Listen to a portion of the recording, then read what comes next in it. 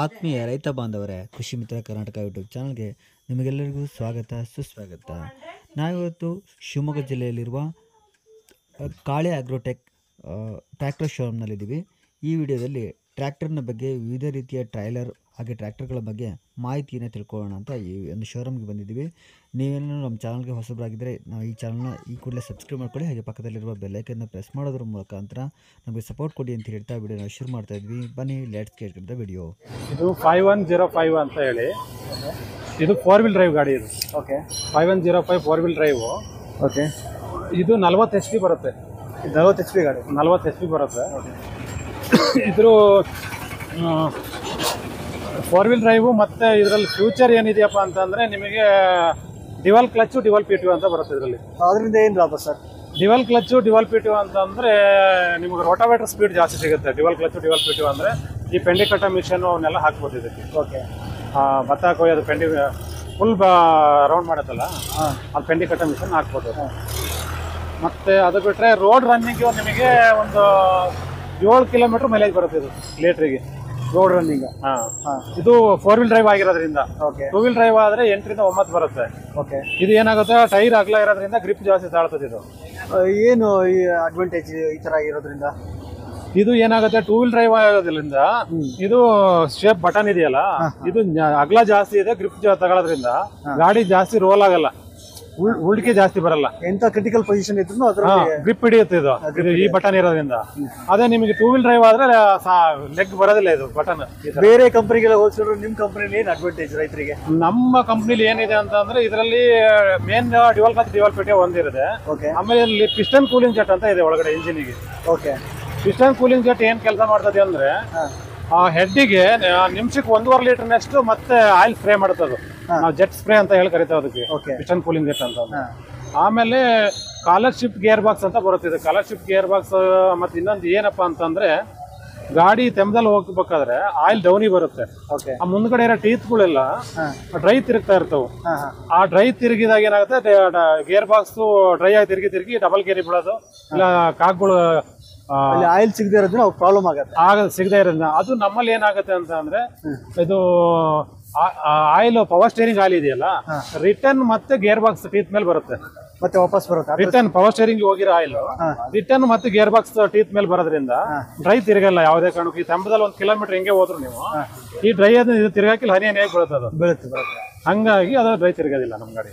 ಅದೊಂದು ಅಡ್ವಾಂಟೇಜ್ ಅದಕ್ಕೆ. ಹೊಸ ಟೆಕ್ನಿಕ್ ಹಾ ಆಮೇಲೆ ಈ ಗಾಡಿಲಿ ಏನ್ ಮಾಡ್ಯಾನ ಅಂದ್ರೆ ಮ್ಯಾಟ್ ಕೊಟ್ಟಿಯಾನ ಇದು ಗಾಡಿ ಹೀಟ್ ಆಗಬಾರ್ದು ಅಂತ ಹೇಳಿ. ಓಕೆ ಇದೊಂದು ಆಮೇಲೆ ಕಾರ್ ಸ್ಟೇರಿಂಗ್ ಸಣ್ಣಕ್ಕೆ ಮಾಡ್ಯಾನ ಇವಾಗ. ಸ್ಟೇರಿಂಗ್ ಮೊದಲು ದೊಡ್ಡದಿತ್ತು. ಅದಕ್ಕೇನು ಅಡ್ವಾಂಟೇಜ್ ಏನು ಅಡ್ವಾಂಟೇಜ್ ಅಂದ್ರೆ ಈ ಪಂಪ್ ಇದೆಯಲ್ಲ ಈ ಕಡೆ. ಓಕೆ ಇದು ಪವರ್ ಸ್ಟೇರಿಂಗ್ ಪಂಪ್ ಅಂತ ಬರುತ್ತೆ ಓಕೆ ಆ ಕಡೆಯಿಂದ ನೋಡಿದ್ರೆ ಗೊತ್ತಾಗುತ್ತೆ ಆ ಕಡೆ ಬರ್ಬೇಕು ಪಂಪ್ ಇದೆಯಲ್ಲ ಇದು? ಈ ಪವರ್ ಸ್ಟೇರಿಂಗ್ ಪಂಪ್ ಮೊದಲು ಸಣ್ಣ ಬರ್ತಾ ಇತ್ತು ಅದು. ಓಕೆ ಇವಾಗ ಲಾಂಗ್ ಮಾಡಿ ಅನ್ನೋದನ್ನು ಹಾಂ. ಪಂಪ್ ಲಾಂಗ್ ಮಾಡಿರೋದ್ರಿಂದ ಸ್ಟೇರಿಂಗ್ ಸಣ್ಣಕ್ಕೆ ಮಾಡ್ಯಾನ ಕಾರ್ ಸ್ಟೇರಿಂಗ್ ಸರ ಮಾಡ್ಯಾನ ಇದನ್ನು ಅದು ಸ್ವಲ್ಪ ತಿರುಗಿಸಿದ್ರು ಜಾಸ್ತಿ ಇಲ್ಲಿ ವರ್ಕ್ ಜಾಸ್ತಿ ಆಗುತ್ತೆ ಪಂಪ್ ಲಾಂಗ್ ಇರೋದ್ರಿಂದ. ಅದೊಂದು ಅಡ್ವಾಂಟೇಜ್ ಇದೆ ನಿಮಗೆ. ಡಿಫ್ರೆನ್ಸಲ್ ಡಿಫ್ರೆನ್ಸಲ್ ಲಾಕ್ ಅಂತ ಬರುತ್ತೆ ಇಂಪ್ಲಿಮೆಂಟ್ ಲಾಕ್ ಅಂತ ಹೇಳಿ. ಓಕೆ ಇಂಪ್ಲಿಮೆಂಟ್ ಲಾಕ್ ಅಂತಂದ್ರೆ ಈ ಲಾಕ್ ಒಟ್ಟು ನೀವು ಈ ಲಾಕ್ ಇದೆಯಲ್ಲ? ಓಕೆ ಲಾಕ್ ಫುಲ್ ಆ ಕಡೆ ರೊಟೇಟ್ ಮಾಡಿ ಇಂಪ್ಲಿಮೆಂಟ್ ಹಾಕಿ ಕೆಳಗಡೆ ಇಳಿಸಿದ್ರು ಕೂಡ ಇಂಪ್ಲಿಮೆಂಟ್ ರೋಡ್ ಮೇಲೆ ಇಳಿಯಲ್ಲ. ನೀವು ಇಂಪ್ಲಿಮೆಂಟ್ ಅಂದ್ರೆ ಏನು ಸರ್? ಈಗ ಒಂದು ರೋಟಾವೇಟ್ರು ಇಲ್ಲ ಬಲರಾಮ್ ಏನಾದ್ರು ಹಾಕಿದ್ರೆ ನೀವು. ಅದು ಇಳಿಯೋದಿಲ್ಲ ಕೆಳಗಡೆ. ಅಂದ್ರೆ ಆ ಲಾಕ್ ಹಾಕೊಂಡು ಹಿಂಗೆ ಮೇಲ್ಗಡೆ ಎತ್ತಿ ಕೆಳಗಡೆ ಹಿಂಗ್ ರೋಡ್ ಮೇಲೆ ಹೋಗ್ಬೇಕಾದ್ರೆ ಆ ಲಾಕ್ ಮಾಡ್ಕೊಂಡು ನೀವು ಹೋಗ್ತಾ ಇದ್ರೆ ಈ ಲಿವರ್ ಎರಡೂ ಕೆಳಗಡೆ ಅದ್ಮಿದ್ರು ಇಂಪ್ಲಿಮೆಂಟ್ ಕೆಳಗಡೆ ಇಳಿಯಲ್ಲ.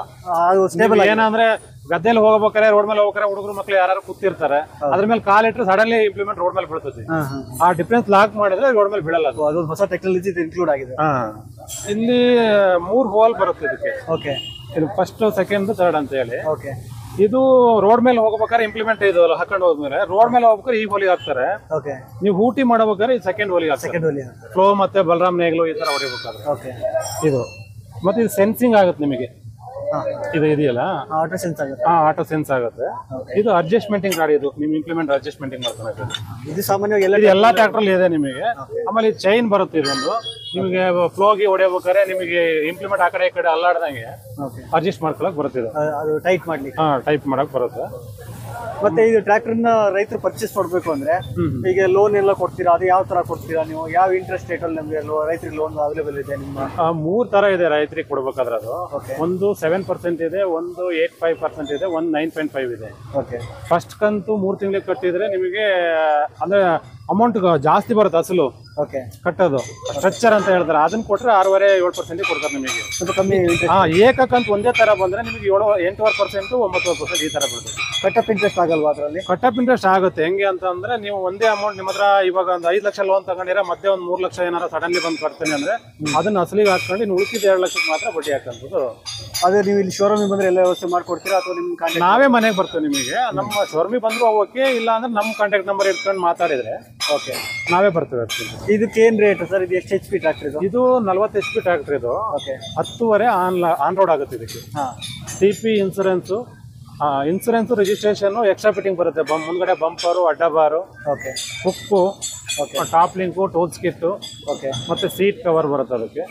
ಇದೆಲ್ಲ ಇನ್ಕ್ಲೂಡಿಂಗ್ ಮಾಡಿ ನಿಮಗೆ ಹತ್ತುವರೆ ಆನ್ ರೋಡ್ ಇರುತ್ತೆ. ಇದರಲ್ಲಿ ಒಂದು ಲಕ್ಷ ಡಿಸ್ಕೌಂಟ್ ಇರುತ್ತೆ ನಿಮಗೆ.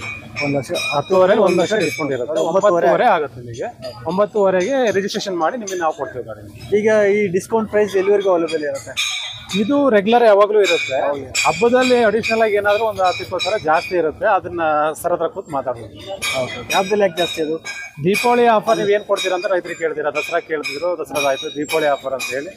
ಕಸ್ಟಮರಿಗೆ ಮಾಡಿಕೊಟ್ಟಿದ್ದೇವೆ ಅವರಿಗೆ. ನಿಮ್ಮ ನಿಮ್ ಸಂಪರ್ಕ ಮಾಡಬೇಕಾದ್ರೆ ನಿಮ್ಮ ಮೊಬೈಲ್ ಸಂಖ್ಯೆ ಹೇಳ್ಬೇಕು ಹಾಂ ನನ್ನ ಮೊಬೈಲ್ ರೈತರ ಸಂಪರ್ಕ ಹಾಂ. Seven zero okay. Double two double two five eight five eight nine zero nine zero four six ಮತ್ತೆ ಟ್ರೈಲರ್ ಕೂಡ ಮಾಡ್ಕೊಡ್ತೀರಲ್ವ ಇಲ್ಲಿ? ಹಾಂ ಟ್ರೈಲರ್ ಕೂಡ ಎಲ್ಲಿರೋ ಸರ್ ನಿಮ್ಮ ಶೋರೂಮ್ ಇಲ್ಲಿ? ಇಲ್ಲೇ ನಮ್ಮ ಶಿವಮೊಗ್ಗ ಇಂಡಸ್ಟ್ರಿಯಲ್ ಏರಿಯಾ ಬರುತ್ತೆ ಇಲ್ಲಿ. ಓಕೆ ಭಾರ್ಗವಿ ಪೆಟ್ರೋಲ್ ಬಂಕಿಂದ ಕೆಳಗಡೆ ಬಂದರೆ ನಮ್ಮ ಶೋರೂಮ್ ಪಕ್ಕನೇ ಇದೆ. ಶೋರೂಮ್ ಹೆಸರು ಸರ್ ಕಾಳೆ ಅಗ್ರಿಟೆಕ್ ಅಂತ ಹೇಳಿ. John Deere showroom tractor showroom okay sir Kale Agritech ಮಾಹಿತಿಗೆ ಧನ್ಯವಾದ.